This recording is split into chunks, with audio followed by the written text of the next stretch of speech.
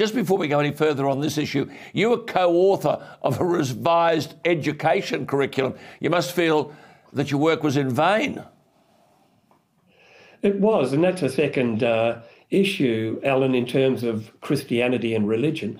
Because when we looked at the national curriculum, 2014, we reviewed it, there were hundreds and hundreds of references to Indigenous culture, history, spirituality, in all the subjects from prep to year 10, but there were probably four or five to Christianity.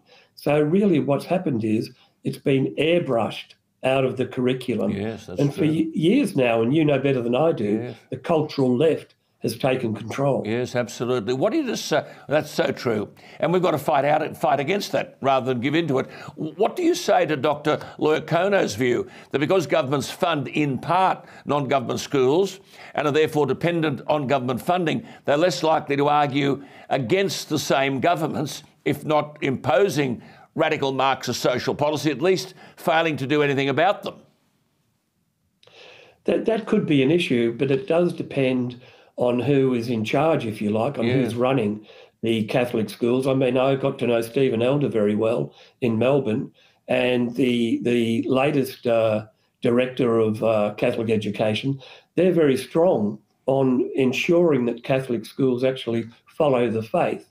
Part of the problem, as you'd appreciate, is a lot of teachers, a lot, if not all of them, have gone through universities Yes, where teacher yes, training yes. is again all about secular, cultural, Yes. uh, leftism, all about Marxism, Mm. peace studies, climate. Climate's a new religion. Mm. So again, it's very difficult to find teachers who But- are but- of the But, faith, but, but given, that, given that conservative governments in this country you'd expect would fight against all of that, they virtually have been silent about it. You've argued that Christianity is far from dead. Following the census, there are all sorts of headlines which you alluded to abandoning God, Christianity plummets as non religion surges in the census. Another one, losing our religion is, as Christianity plummets. And another one, Australia has become strikingly more godless over the last decade. Unquote. Is religion in its death throes, Kevin?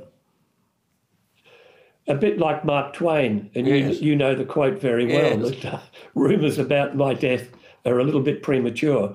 I mean, the interesting thing here is globally, Christianity is on the increase. If you believe it, especially in places like China, where more and more Chinese people are looking for an alternative to that totalitarian regime.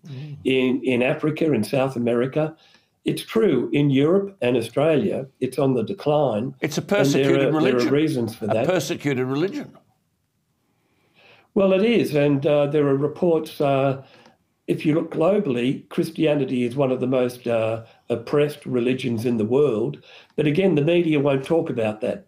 The media never acknowledges that Christianity, Christians, there are martyrs every week in uh, places like uh, uh, China, in Iran, in even Egypt, where the Copts are regularly oppressed and victimized. But, So but even, religion is on the increase globally, yes. but not in but the even, West. even if